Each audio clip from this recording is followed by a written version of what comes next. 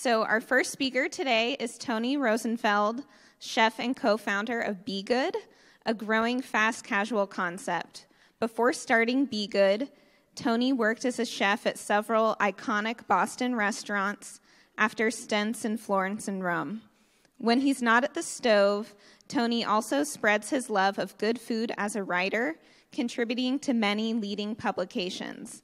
So this morning, he'll give us kind of a from the trenches report on how today's new whole fast food restaurants are thriving, and he'll share why whole grains are the default in his 40 stores.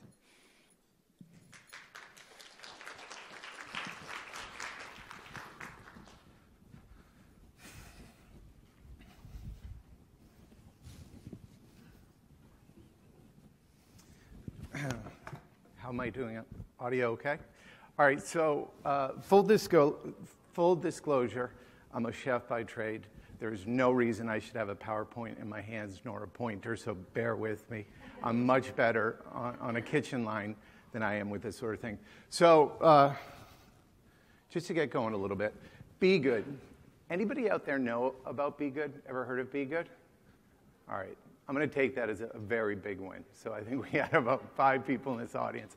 Um, for the most part, we are, well, before getting to there, um, we are fast food. I know the words fast food have really interesting connotations.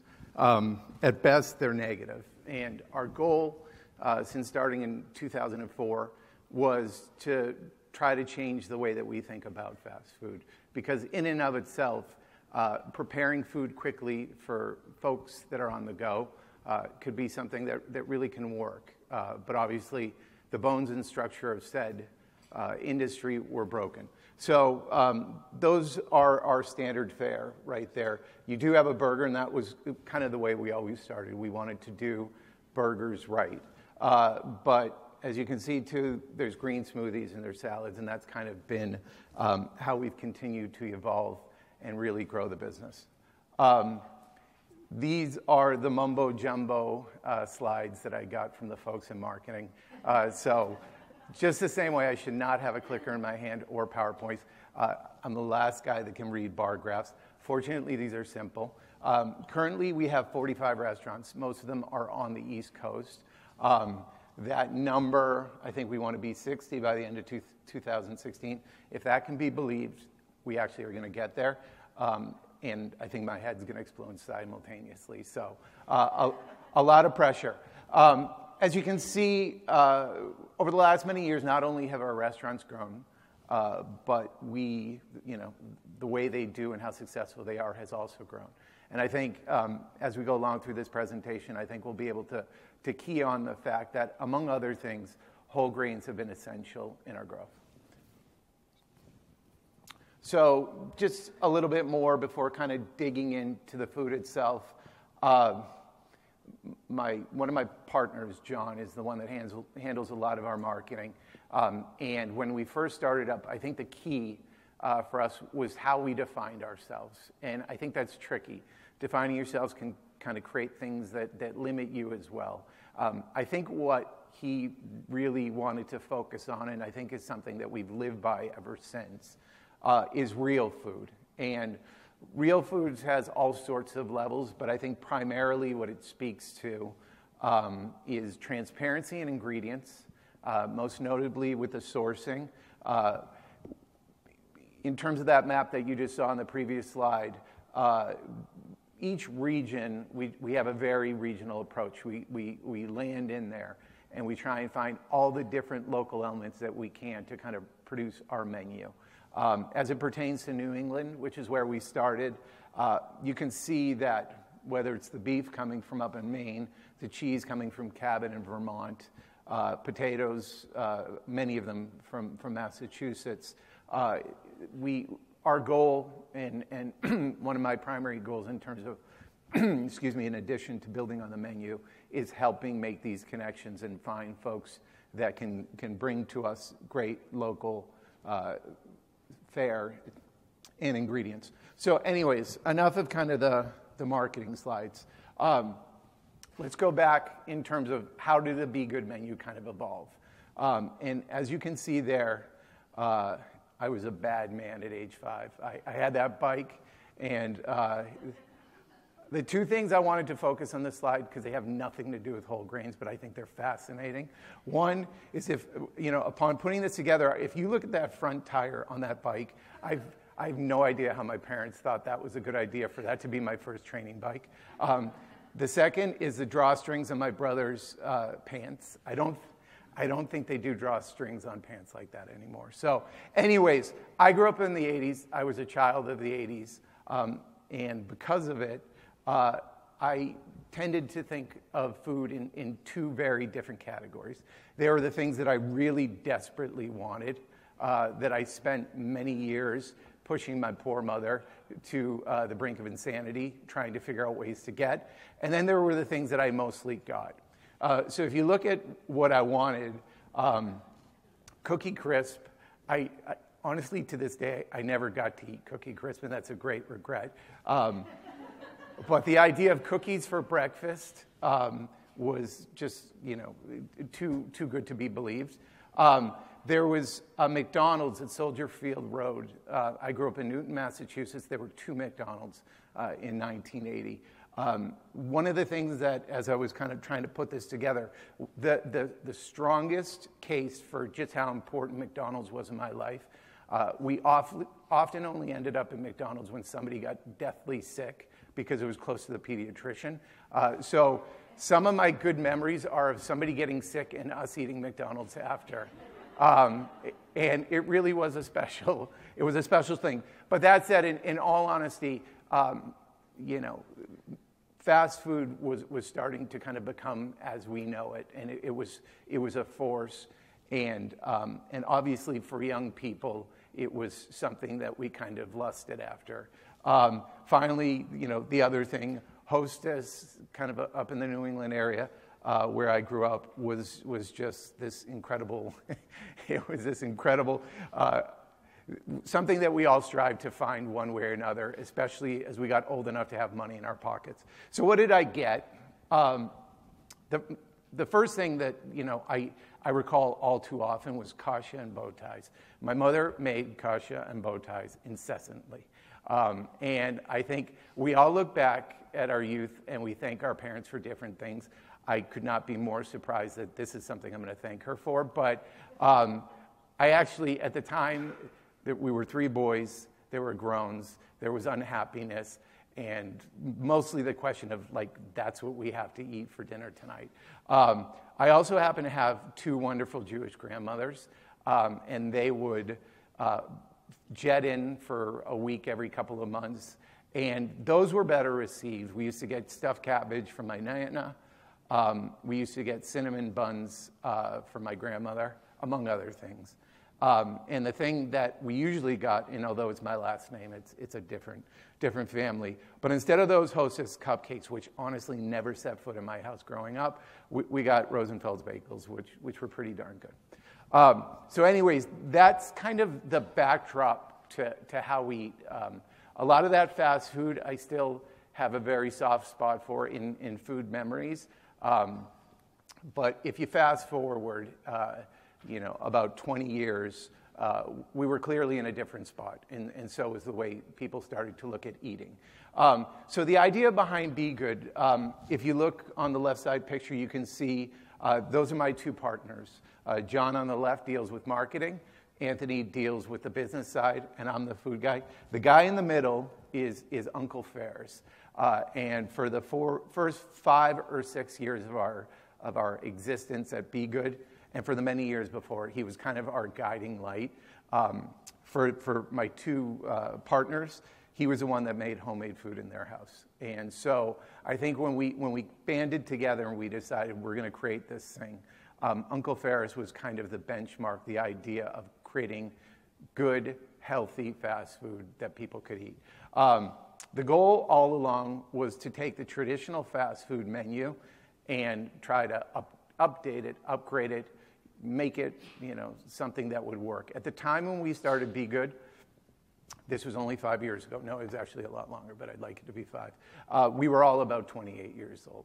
Um, so, you know, it was, it, we, we'd been in the work world. I'd been cooking. They'd been in the business world. And we said, there's got to be something better. Let's go and do it. So we, we, we did, we were idealistic, we were really passionate. Um, and the thought was let's just take everything that's traditional about fast food and try and make it better, try and make it real. So when we opened our first b.good in 2004, which is, is a long time ago now, it feels like, there was a lot going on. Um, uh, Fast Food Nation had been written in 2001. I, I don't know if folks recall it, um, but it was, it was really staggering. It was beautifully written. Um, at, this, at the time that I was putting together this slide, for some reason in my mind, Omnivore's Dilemma had, had, was already around, but it actually was a couple years before Omnivore's Dilemma. So Fast Food Nation was, was just uh, really a treatise on what was going on in fast food and so many of the problems behind it. Uh, and I think it was, it was a guiding principle uh, in terms of how we wanted to approach the food. Super Size Me, um, I don't know if folks saw that movie.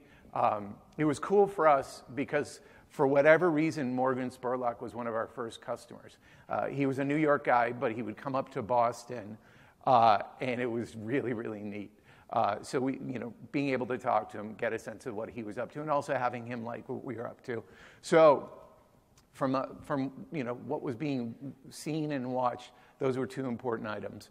Uh, we, we had a couple of models, um, most, most notably Chipotle. Um, in 2004 in Boston, there was not a Chipotle to be had. So we would talk about it incessantly, read articles, and eventually make some trips around just to try it. The thing that was so essential and tremendous about Chipotle um, was that they were working with, with natural meats from Niman. Um, and at the time, that seemed, you know, that was unheard of. And it was, it was really cool. And it was something that we wanted to emulate, although we had absolutely no idea how. Um, and obviously, Shake Shack, um, not something that we were you know, terribly familiar with right at 2004, but it was clear there was folks that were starting to think about fast food and, and how we could improve it. So, as we're getting ready to kind of open our doors, I think the first and foremost goal was we got to do this right. We got to source this locally. Um, you know, I come from a fa- from a, a, fine dining background where it's easy to get a, a, whole animal into your kitchen, even back then in 2004. Uh, how we're going to get locally sourced vegetables and potatoes and bread, and, and even more importantly, beef into our restaurant with very little experience on that sourcing front, that was a big mystery. Um, and through a lot of conversations, through driving places to the point of people telling us, please give me a break so I can get my work done today. Uh, I think we started to create some really tremendous relationships. Um, I won't, I won't, you know, lie. Each one of these relationships with these gentlemen, um, they took they took a year, two to develop. Um, there was a lot that went into them, especially as we had one restaurant and two restaurants. Uh, it wasn't easy to set up that supply chain, but sourcing locally was always goal one. The other thing that quickly became apparent uh, was that we were growing up, and at this point I was probably 28 or 29. I was starting to realize that my mom was actually really smart and a really great mother. You know, we're doing that thing that we all do, that as we're in that place where you start saying, Holy God, Mother, you, you really should have been serving me that. I can't believe I was so mean to you about that. that, that. So I was at that point where, and taste buds are funny, but you start remembering actually missing something that you desperately did not like about 10 or 15 years ago as a kid. So the, the kasha and bow ties thing, that was, was starting to germinate in my head is something that I really wanted us to work on. The other element that was most definitely key our customers were growing up. They were reading the same things that we were reading. They, were, they knew Fast Food Nation. Um, they were seeing the studies. They were understanding that some of the traditional fast food was not doing really good things for us as a country and as individuals. So salads, um, we, you know, although we had this idea to open this incredible burger chain with salads, what we realized uh, were, was that salads were really what was moving the business, that salads uh, were key to what we do. The second thing we realized um, for three 28, late 20 something uh, males, uh, in, in, the surprise of all surprises, uh, women were a fundamental part of our business. They, they formed about 65 uh, percent of our customer base. Um, and through no, you know, through no thought or planning on our own, it had just happened that they had vibed with the message that we were sharing. Um, and then the other, the final thing was clearly um, every survey that we con- conducted, nutrition w- was a primary essential element of what we were up to and what people were enjoying. Um, so it was something that was more of kind of like a goal and part of this business model. It, was, it, it had become far more. So the result of all these factors, of, of what was being written around us, about the studies that were going on with obesity, about what, who we found out were our customers and what was important for our customers about our business, um, I think there were three really key takeaways. That healthfulness, as I mentioned, you know, when we first started off, um, it's, a, it's a bit of a downer to say, hey, we want to create really healthy food. People glaze over. Uh, a lot of times they think that, that that's a trade off for actual flavor. Um, so I think what we realized was that although we might want, not want to call it simply healthy food, um, that it really was a mission to try to create something that in every way, shape, and form was, was nourishing uh, and better than the alternatives. Um, another element that became completely clear uh, was that we needed to be transparent. Um, that there's plenty of brands and concepts out there that know good marketing can, can be created by saying buzzwords. Uh, but to go the next level, whether it was on the sourcing front um, with who we were working with locally, uh, or whether it was on the ingredient front and really starting to get into the things, whether they be the fruits and vegetables or, and, and more importantly, as we get along to this, the whole grains that kind of form the base uh, for a lot of our ingredients. And so that was just the final piece that uh, to be as sophisticated uh, as necessary so that our customers, we could have an, a real dialogue, a real communication about what they were eating because uh, I think a veggie burger can only do so much. I think at a certain point, somebody that's eating it three times a week wants to know what's in it, and they want to be able to really feel good about it. So, so in terms of, I've broken down our kind of journey at b.good uh, into three parts. Um, one was part one, and I think you know started at 2004, but it was something that we continued to evolve. Um, we started with the grains baked in. Um, so, for the most part, grains were not standalones in, in salads. They weren't standalones in the bowls that were to come. They were things that were baked into a couple of our essential menu items. Uh, the first was our bread, uh, and we talked with all sorts of bakeries, um, but soon realized that if we were going to kind of have the impact that we wanted, um, as easy as it would be to have a very nondescript light, you know, whole wheat slash really white bun. Um, we were going to have to do something that was more, and it was going to have to be something that had substance and, and, and really packed with whole grains. So that was one element. And then the second was a veggie burger. That we had to create a veggie, veggie burger because we were a burger restaurant, uh, but we were quickly realizing um, that people were focused on a lot more than beef. So, in terms of the first piece, creating a good whole grain burger bun ain't easy. Um, and I know because we tried. Um, I, you know, as much as I do love to bake, I'm no baker. But I think what, what we realized is um, try and look for good whole grain buns, and they, you know, they can be lacking. Um, and there's a lot of reasons. In terms of what goes into our standard b.good spec. Um, and we don't have one universal spec. We work with, with uh, regional bakers uh, and we try and kind of create something that works for them, but is also kind of true to what we're looking for. If you look at all that stuff, though, um, again, not being a baker, but just being somebody that understands the laws of physics, uh, buckwheat, millet, millet, flaxseed, rye, oats, stone ground, whole wheat flour, they're heavy. Um, and so to create something that would be have all those ingredients and have um, certainly the nutrients and the, and the dietary fiber that we were looking for. Um, those are all things that are kind of a baker's worst nightmare in terms of weighing down something that you want to be delicate. Um, so we, we reached out to a lot of local bakeries, um, and they were interesting conversations. They were demanding um, because I think if you know the way I feel about a lot of b.good's food, if if things just existed readily out there and they were easy, um, then most everybody would be doing it. Uh, a lot of the, the, lot of the most important, the best things, obviously take a process. There's there's a lot of you know blood, sweat, and tears that kind of go into it. On this front, I think we were, we've been really lucky because we, we've been able to find artisan bakers that believe in what we're up to, and I think they've created tremendous pro, uh, products. Um, very early on, we got slam, slammed by uh, a notable food blogger who, who explained that a perfect burger needs a very soft white bun.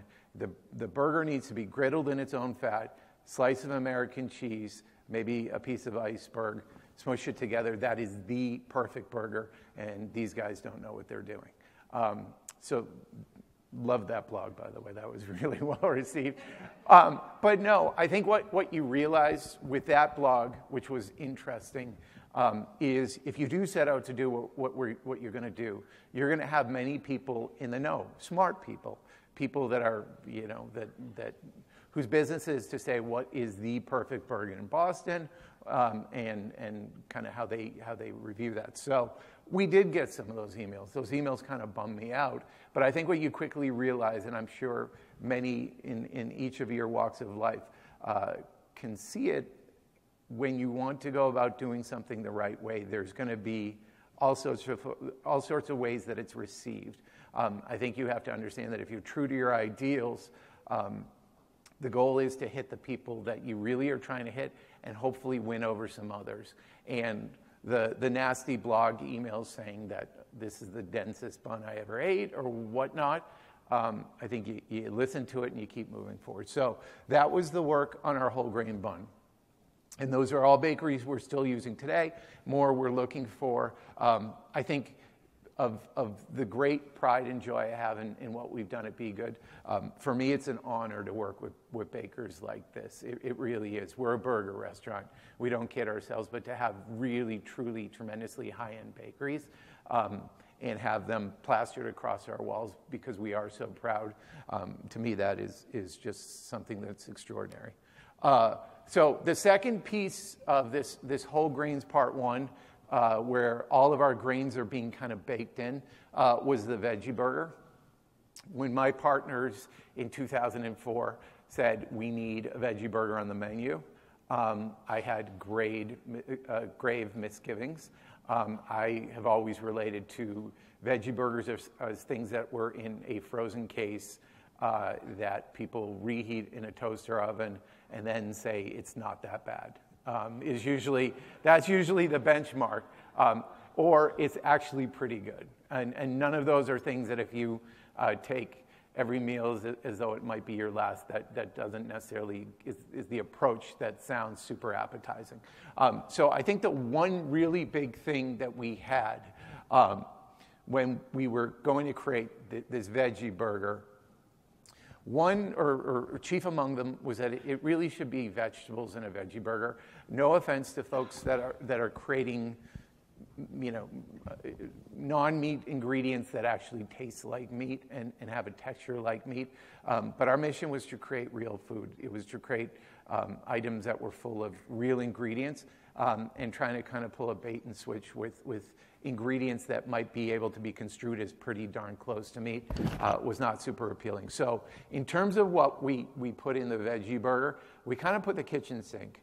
Um, in terms of my PowerPoint skills, I, I could have thrown about 30 other things on this slide, but I, I, I worry how it would have looked. But the, the bases um, were brown rice and bulgur, uh, um, wild rice as, as, the, uh, as, as the base grains. Um, we also add all sorts of beans. We also add all sorts of vegetables. Um, one of the early things that we, we kind of got pushback from our customers on was needing for this to be uh, vegan. And you know, up until that point, for the first year or so, we were using egg, and egg is the most wonderful thing to make, uh, to, to, bind, and, and I miss it dearly. Uh, but what I, what I learned, um, and th- this was part of my own education process, is that flaxseed is its own little incredible ingredient, and it can do great things. And so what we learned to do was puree some of these beans and use flaxseed and create this little paste. Um, the one thing that I would underline uh, is, is at the bottom, which uh, I think truly for a good veggie burger, um, if you're not going the route of, of reheating um, something that's been frozen, I, I think there, there's three pieces that we learned to make our veggie burger work. Um, one is that it needed to be kind of loose. Um, uh, it's, it's one thing to create something that's slightly indestructible using breadcrumbs or using anything else to make it good and dense. It makes a really strong patty that tastes like breadcrumbs. Um, so I think what we realized is that we wanted this to be loose. We wanted it to be full of the textures of the whole grains, and we wanted it to be full of vegetables. Um, to do that, the, the second piece that we had to do was sear all those many veggie burgers that we were creating during busy lunch services. We had to sear them well. Um, you put it on the flat top, you let it sit, and so I'm talking about a flat top griddle, um, which is almost performs like, like cast iron in terms of retaining its heat and searing well. Has to, has to be there for about two minutes. You get a beautiful crust, you can flip it, and it, it does perform like a veggie burger. Um, that took many sleepless nights and arguing with our operations people and begging and then telling them, I'm stupid, but please do this anyways, and, and all sorts of back and forth. It worked. Um, and, and our veggie burger became an essential part of, of our burger menu, um, which is a real win. The only other piece, obviously, is that you go and you create this incredible sear on a veggie burger, you flip it, and you create an, an, another incredible sear.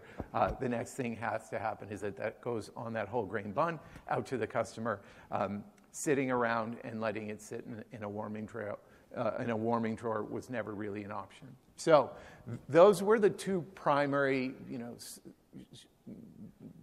iteration one, if you will, of, of how b.good dealt with um, whole grains.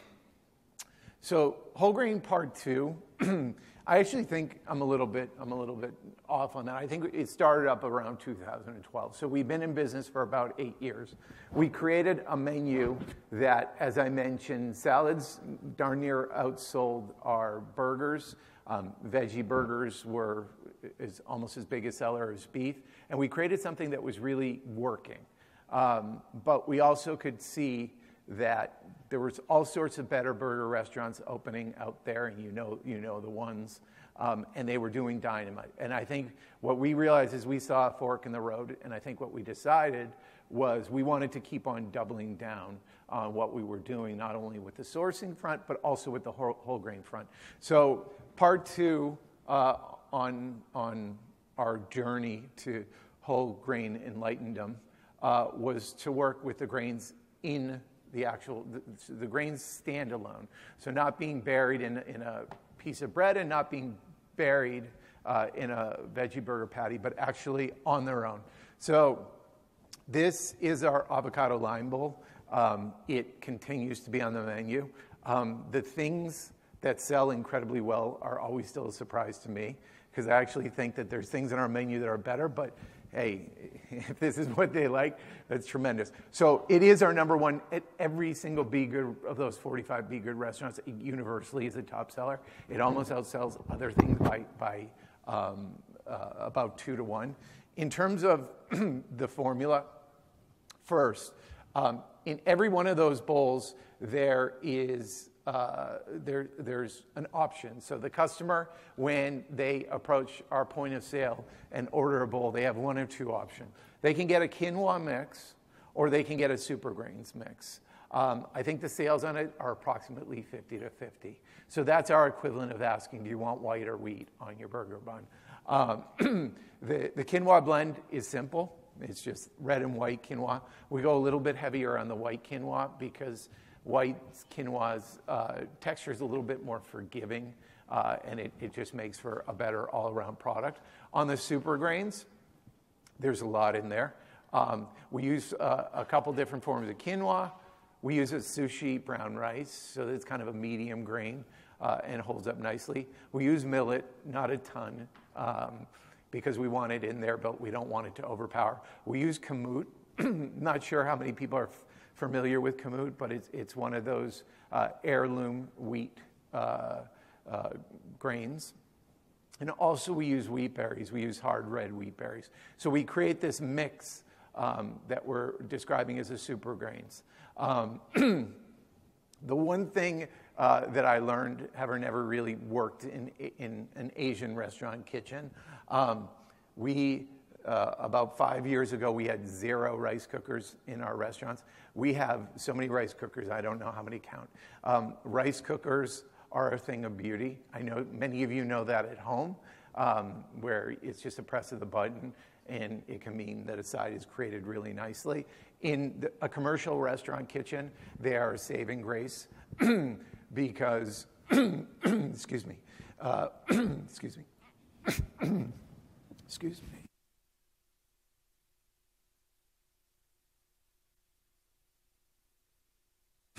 so, with 45 restaurants and needing to produce 45 restaurants needing to produce grains that, that work and are cooked perfectly, um, the only option really is a white rice cooker. The other thing that's really tremendous about rice cookers uh, is their powers of reheating. Uh, and that's something that basically operationally allows us what we need to do on a given basis. I'm sure many of you are looking at me and saying this is a great story, but in my kitchen, wherever it might be, um, the real nitty gritty, thank you. The real nitty gritty is how can I produce this uh, consistently, day in and day out. Um, and I have no stock in any rice cooker company. Um, if any of you are selling, I'll buy because they really they really do all sorts of wonderful things. Um, in terms, in, a little bit more about the actual bowls, um, and I just well, I'll get there in a second. But in terms of what goes into our grain bowls, they're basically three levels. Um, the, bottom, the bottom layer is the grains, whether it be the super grain mix or that quinoa mix. Um, and it usually serves as the base of each and every one in bowl. Uh, the second piece is kale. Uh, we normally, uh, on a daily basis, we uh, stem the kale, we slice it superbly thinly, and then we marinate it with olive oil and a little bit of lemon. The result is the kale looks something like seaweed in terms of a seaweed salad, slightly moistened, soft, um, and, and you know, pleasant. The, the next level are sauteed vegetables. Um, and so while on the line, we are making that bottom layer. We have somebody over at our grill station who is using high heat to grill these vegetables as well as a couple of others broccoli green beans might make appearances um, but one of the essential pieces to making this work uh, is that there be kind of browned saute vegetables that have that maillard reaction going on that add um, some real intense flavor on top the final layer uh, is usually a lot of colors and a lot of homemade sauces. Um, so legumes will make an appearance. Uh, we use pretty much every bean imaginable uh, on the top. We also use um, legumes in the form of nuts, uh, which add great texture and obviously health benefits. And there's, there's usually some sort of, of homemade sauce. None of what you're looking at up there is actually one of the homemade sauces. I just got desperate for something that would fit in this PowerPoint. Um, so that's, that in and of itself is the formula. Um, and I just want to go back. Let's see how well I can go back. If you look at kind of where our sales change, sorry about that picture of me again, um, you'll see that the bowls really got introduced right around 2013. Um, and many, many stores saw increases of approximately 25% per store. Uh, so, as much as we had created a nice little business uh, up, up in you know, our first six, seven years of business, what really happened um, was those bowls added an extra category, an extra element, and something that was obviously something that was going on currently in the, in the, in the in the food industry, uh, it was something that we really focused on and created special. So, in terms of, so th- there really are three keys to our grain bowls. Oh gosh, there's actually four keys. My math just kind of faltered. Uh, but in terms of how they work, I described a little bit about the formula. Um, but I think, and to me, this slide might actually be key to food service in general and to what we're able to do. Uh, because I think a lot of what works on this slide is not something that I can do or have time to do, and it's not something that a lot of our folks at, at home have time to do. So I think it's an advantage. One is creating bright colors. Um, and that, that kind of, you know, it goes without saying, all, all, chefs are trying to create things that are pretty and colorful. Um, but I think the, the paradigm shift, what, what really applies here and makes it different, is on the bottom of this bowl are quinoa and super grains. And while there many of our customers might have been standing in line already ready, excuse me, already let, ready for us to create something with kale and, and, and super grains and, and quinoa, uh, I think there was another good many who were just ready to try it and, and hope that it tasted really good so that they could go home and tell their spouse, I ate something really good today. Let's eat steak or whatever it is that they're going to eat at home. So, in terms of bright colors, was one, contrasting textures was two. Um, again, you know, most all folks that are in the food service industry know it's no great secret that if there's soft grains on the bottom of this, uh, we certainly want to have disparate, uh, disparate textures. The, the whole bowl could be interesting and not simply a one bite. Um, technique, I'm going to get back to after the big flavors.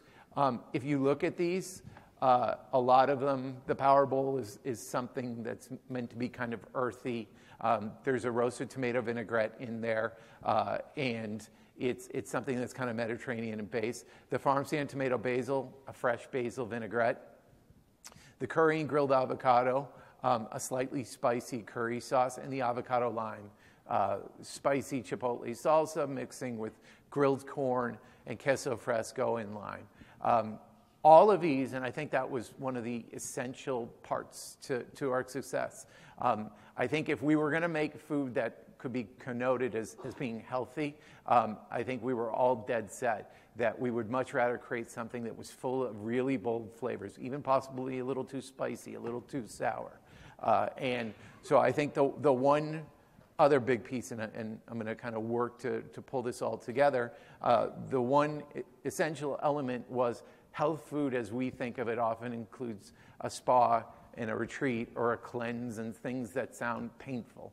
Um, so the idea that we could create something uh, that certainly had tremendously healthy elements, uh, but would also be big on flavor, I think was, was really the way that we wanted to go. And if we wanted to make a mistake, I'd rather have folks say, wow, that was spicier than I thought, or, or, or whatever it might be.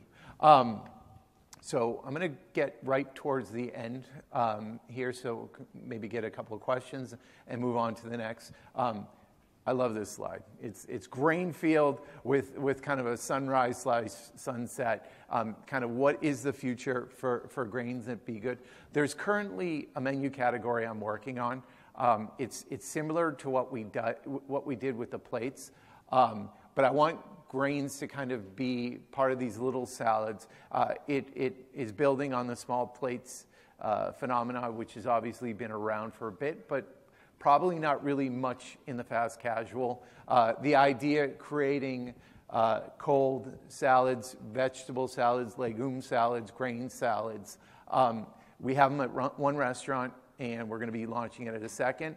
And uh, I don't sleep at night because I check the sales every day, rooting for the sales to be really great. Fortunately, the sales have been really great, so now I'm just stressed about the next restaurant. But that's, that's one of the big things. Um, the only other piece, and this is my final slide, um, I think if, if I personally have a goal with, with kind of how grains appear in their next steps, their next iteration, um, I think you know, we do carry a super grain. Uh, we have a power bowl. Those are buzz, buzzwords and nu- nutritionism words that obviously sell to that person at 11 o'clock or 11:30 that's in line saying, "Man, I just worked out. I want to get big," or, or whatever it is, or it's or, or, or summer weather's coming up and I want to get ready for the beach.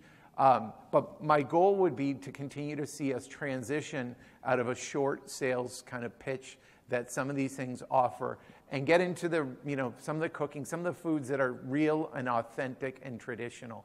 Uh, and so if I think there is a final frontier, um, I think the next level of being mainstream about some of these items is that they be true and authentic dishes and that people be eating them because hopefully the education level has happened such that people already know that those quinoa grains and those power grains, they are power grains, and now it's just simply about the food uh, and continuing to evolve it in our flavored taste buds. I, am sure I've gone way over. I hope uh, you've enjoyed the talk.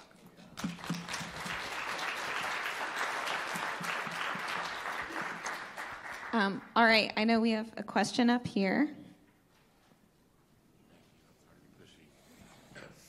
Chef, awesome presentation. I got to tell you, I'm old. I've been in the industry forever, and I'm ashamed to say I'm not familiar with b.good. And, and now I just, I'm in love with you, and I want to eat you up. Here's a question I want to ask you though, because it's obviously part of your marketing, successful marketing, is is an emphasis on local, right? I mean, you're getting your potatoes from Massachusetts, not Idaho, you know, for the Northeast. So here's my question: Is because local has evolved as an issue, especially with culinarians over the last several years, and of course also with customers, and the customers are driving that. Excuse me. In terms of defining what local is, I mean, there are plenty of chefs and restaurants out there who would be fine with a restaurant in Massachusetts serving potatoes from Idaho because it's within the contiguous 48 states. And you, on the other hand, have really taken that very um, dedicated penetration of local, and I love it. I love it. But here's what I don't understand, or I just want some uh, perspective from you. As whole grains, interest in whole grains is growing, and, and you are obviously leading, you know, innovation and and um, uh, creating more awareness and education uh, and demand. Where's the line drawn from when a whole grain is local I mean, nobody in Massachusetts has grown quinoa, are they? No. Um, so why is that okay? That's so, my question. So, so there's a, there's a couple great questions there. Um, I think if I could have added a, final slide, and I'm, I'm, sure you guys are grateful that I didn't, but if I could have, I think the other final frontier, and it's something that we're working on, uh, especially um, with some folks in Maine that have grains that we desperately want access to. I think the final frontier um, obviously, most uh, quinoa at a, at a, massive scale comes uh, from Peru and Bolivia. And uh, as wonderful as the grain is, that, that's a lot to travel. That's a big carbon footprint. Um, so, to answer your question, that is something that I'm working really hard on because I think uh, it does matter. There's plenty of mills in Massachusetts. There, there's plenty of mills up in, in, in Maine. And, and so we are, that's ongoing. And I, it's something that Next year, when we do this, I'm going to come up and I'm going to show you all the different grains that we're working with. Um, as far as quinoa, there is, for our stores in Canada, there's a Canadian quinoa. It's a, a golden quinoa, um, which we are going to unleash in the next couple of weeks. It's going to be a really interesting case study because golden quinoa, I'm not sure if folks are familiar with it. It's something that I've just gotten to learn. The flavor's a little bit more assertive and aggressive, uh, so it would certainly be something that would do right by the mission. To answer your question, though, on the, on the macro uh, level, I, I, do think it's going to be essential.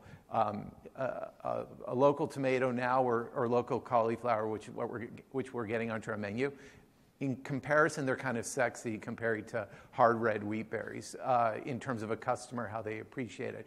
I think the next level and the next iteration will certainly be to, to, to take that on. Thank you. And I know some of our friends at Lundberg here are working on the American grown quinoa, so you'll have to talk to them as well. Um, I think I'm going to roll into our next talk, um, but definitely if you uh, want to look for Tony at the break and ask him more questions,